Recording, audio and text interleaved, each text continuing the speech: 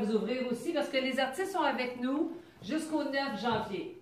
So we have 10 artists with us uh, for the Fine Arts Marketplace all until the end of uh, December, until 9th of January because we have a co- uh, corporate event on the 7th of January and we want to keep our artists with us for that. Oh, they can maybe sell again.